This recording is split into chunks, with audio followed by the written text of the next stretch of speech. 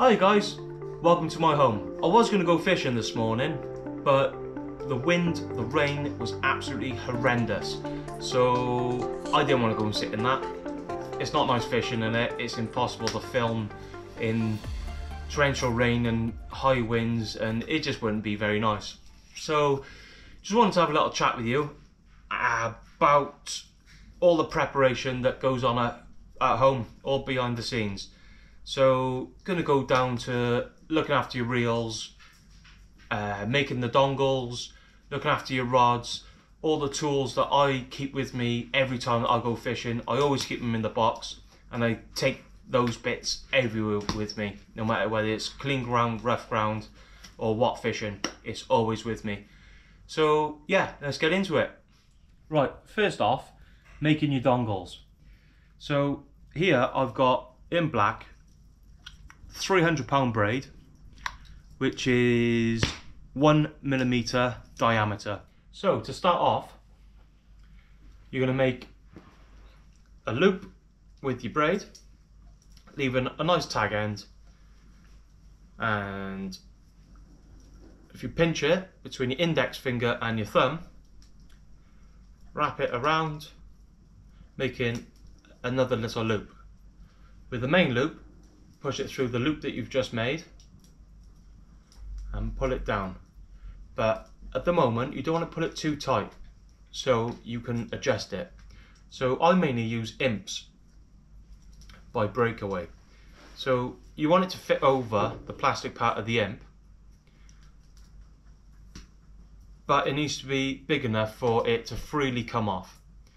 So as you can see there, I've made a little loop. You got your tag end and the main part.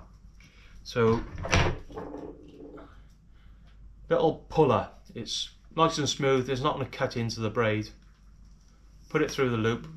Wrap it around your hands a couple of times and just pull it as hard as you can.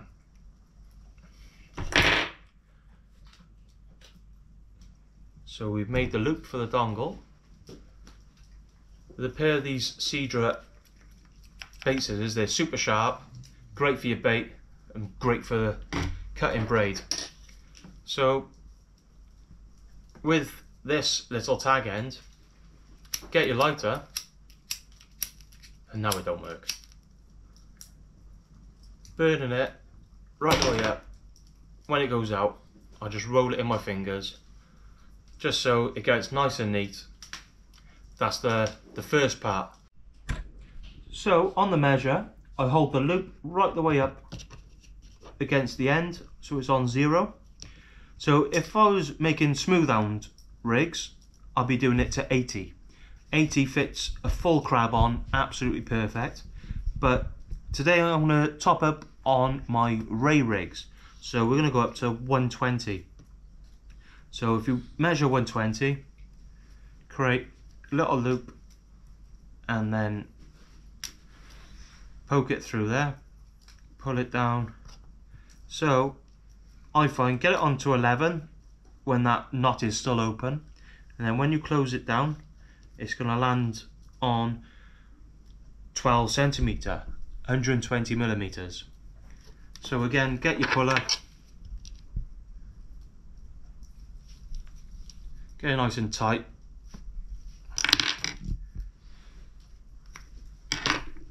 so we've pulled it tight. Get your your scissors. Super super sharp scissors. I can't recommend these enough. So again just burning the edges off. That is my ray dongle. Here I've pushed the hook through making sure it's equal on both sides and the knot is on top of the hook. And then we have the dongle loop which goes on the imp and sits like that with your bait obviously sat on the on the braid ready for casting. So now you know how to make them I recommend keeping a good stock of them so if you noticed I've got three different colours I've got dark green black red The reason I've got three different colours is different sizes for different size baits for different fish. So we got the heavy duty one, we got the ray ones, we got the shorter ones for the smooth hounds. You can use them for codling with a crab and squid wrap. So keeping a good stock of dongles also means keeping a good stock of rigs. So these are just my ray rigs. We got uh, a couple with hooks already tied, but keeping a large stock of my long pulleys. These haven't got the hooks on yet, so this is the rig wallet I take. Obviously it's smaller, fits in your box nicer, saves you rummaging around. So this is the one that goes out with me. Throw it around. Got the Ray rigs, so I've written six foot Ray rigs. So that's the one that goes out with me. This is my stock. So I've made the pulley already. So all I need to do now is tie on the hook. So I might be going after small-eyed rays and spotted rays. I use a smaller hook. Going after the blondes, use a bigger hook. So good stock of ray rigs, which is the main fishing in the Bristol Channel. So as some of you, some of you know, I do uh, uh, quite a lot of competitions. Uh, not so many at the moment, been off it a little bit, but here's one for the Shore League. That's a mixture of scratching rigs, conger reel rigs, ray rigs, and just a, a big mix of, of everything in that one, just to cover all all the basics. So again, dogfish rigs as a match angler, you're gonna need loads of them. So that's a three up clip down, aiming for dogfish, which some of you are gonna absolutely scream at. Smooth hounds, this is going very low. Done a lot of hounding in the summer, rough ground again. So uh, yeah, that's the hound rigs, keeping on top of them. Conger rigs, four foot dongle rigs, which I use on rough ground. Soon, end of the month, I'm going to Fuerteventura. So this has got some heavy, heavy duty pulley rigs, wire traces, 200 pound mono, as well as some scratching rigs to go and catch some fresh bait. So I advise, whatever fishing you want to do, stockpile on your rigs because finish work early one day or the wife is out with the kids and you've got a free day on the weekend, just grab your rigs, grab your rods, get your bait in the freeze from the freezer and away you go. So as you can see the cameraman is uh, just having a nap it's uh, it's hard work for him uh, being cameraman for me.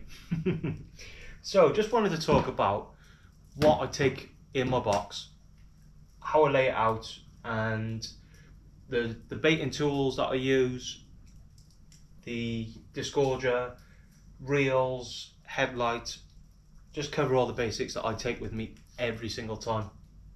So first off, I always keep my reels in the neoprene case. One, I'm a tackle tart and I hate scratches on my stuff. And also, I've mentioned in a video before, I number my reels. You can see on the, the side tensioner, you got a number five. I remember using this reel on rough ground, and as you can see, lost quite a bit of line. So I know number five needs to get changed. So if, even if I didn't lose a line, and it was skagged up. There was a problem with the shock leader knot or the the shock leader was rubbed against rocks. I know number five, I need to change line, I need to change the shock leader, etc. But what I also recommend is when you get home, take them out of these neoprene cases. As long as you know, salt water corrodes pretty much everything. So as you can see on the handle here, that's where I've left it too long and I haven't rinsed it off. I'm not saying go on and uh, dunk them under water, but wet cloth, give them a little wipe over, and it'll keep your reels looking pretty. And if you ever want to resell them in the future, you'll get a better price if they're looking mint. So yeah, that's reel number five that uh, needs new line on. Also, another little handy tip is these quick links. These quick links are great because when you wind in your old bait or, or fish, you can have a rig already baited up. And instead of sat there doing a fresh bait, you can just grab your next one, go cast out straight away. The more time you're in the water, the more chance you've got of catching fish.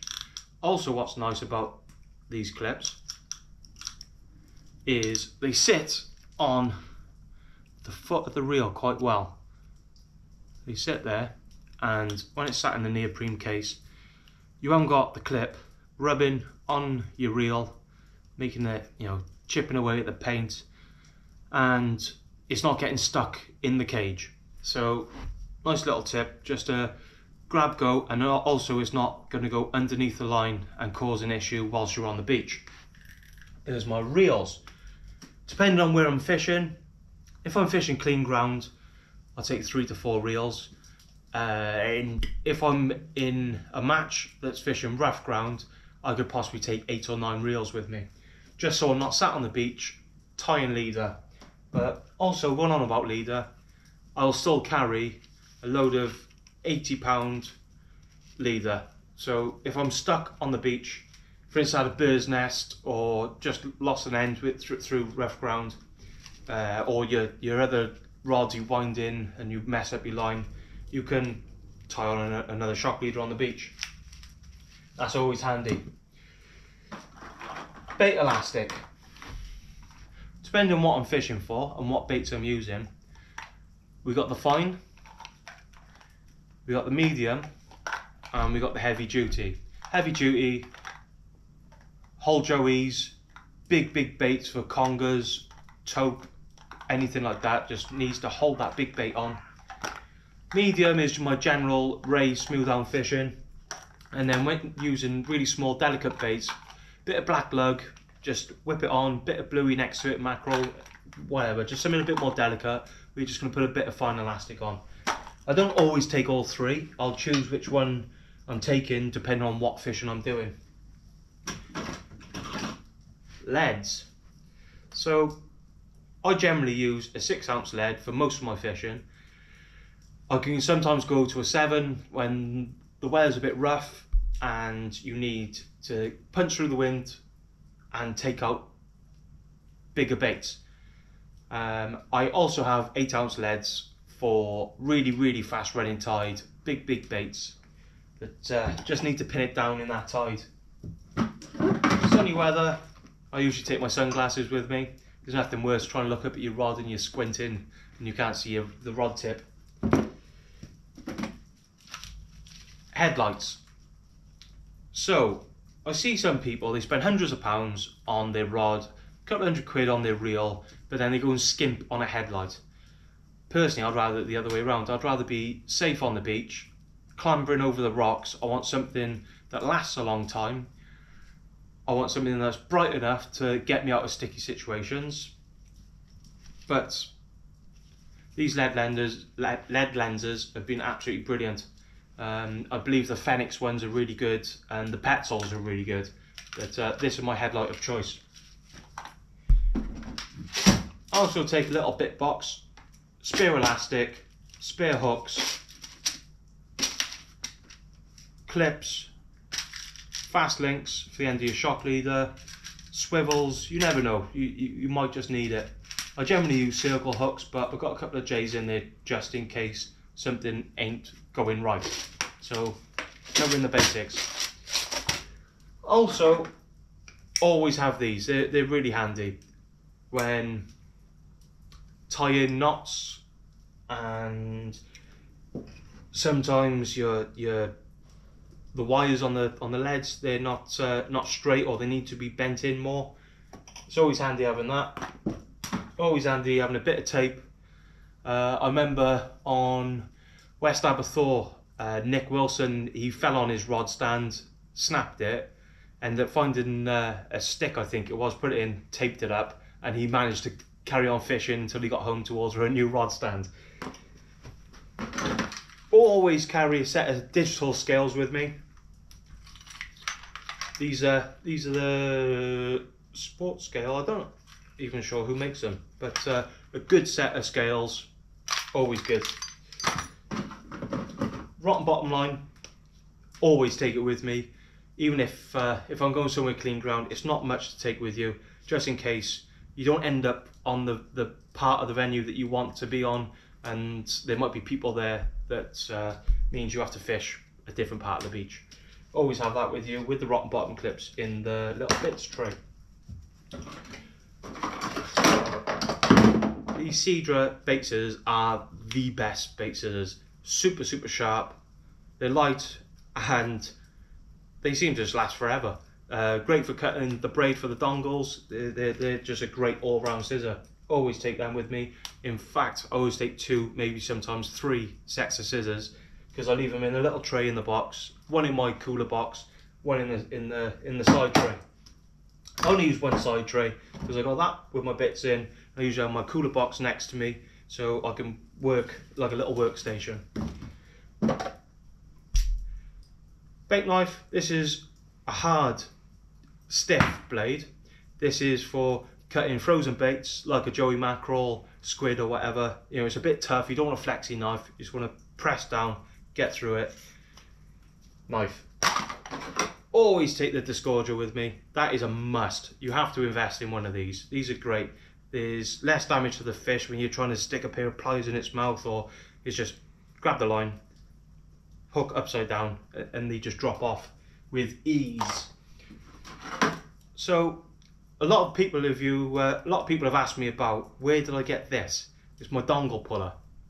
Gary Parsons has made this for me and he's made it for lots of other people. Uh, he's selling them in uh, a few tackle shops. So you can push that through your bait. There's a little groove there. The dongle sits in there on the loop. You can put it through and then you can whip around it. So swivels are my choice. I've recently just gone on to the Sidra X3, the crane swivel. They're 310 pound test on a size 2 swivel, which is absolutely insane. Uh, some of you are probably thinking, what's the point when you're only using 80 or 100 pound um, rig body? But if you re keep reusing your swivels, obviously the stronger ones are going to last longer, they're much better. So that's those bits. Little baiting tools. So when I'm using the dongle with crab baits or worm baits and I'm whipping them onto the dongle, the dongle can sit on the little bend by there. You can put it tight, you can whip round and get it all neat and tidy. Scratching with little soft baits, little bits of bluey, little bits of anchovy. Cut it to size, stick it in, bait elastic around, and then you can feed your hook through it or you can lay the, the hook in it and whip around again. I love this little thing. So recently a couple of friends of mine have showed me it. They use it on squid mainly, but you can use it on fish baits as well. Just when it's a bit big, a bit tough, um, instead of throwing the squid head away, which has got loads of ink and lots of scent in that. You can lay, get the body of the squid, cut it to the shape and size you want it, get the guts, get the head, even get a bluey head, any discarded bait that you'd normally throw away, lay it on top, little chopping board or on top of your cool box, smash it up and you can whip it onto your bait, just creating that extra scent and not wasting any of your bait at all. So these are the things that I always, always take with me. Something else that people, I think, really overlook is general maintenance on your rod stand. There's nothing worse if you just had a massive track and then you get there, these unscrew, turn, and then you can get obviously your rods on there. But travelling, it's ideal to have them up flat out the way. So with salts, sand and just general moisture on metal isn't always a great idea so little bit of spray of WD-40 on the moving parts. Don't forget the joints. You don't get on the beach it's just a hassle trying to fight with your rod stand just to try and get it set up. So all the joints all the moving parts just give a little spray not every single time just once every other month or whatever uh, depending on how often you're going out but yeah, just to keep things going smooth and don't overlook it.